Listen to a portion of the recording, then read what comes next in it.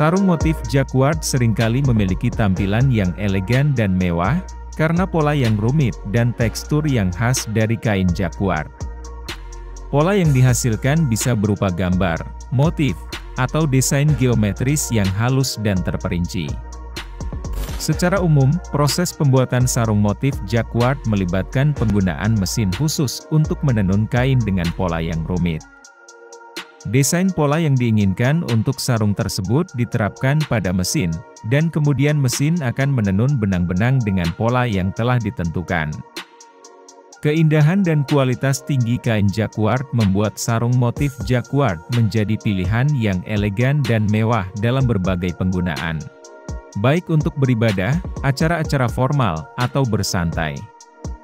Nah, apakah Anda sudah punya sarung motif jacquard di rumah?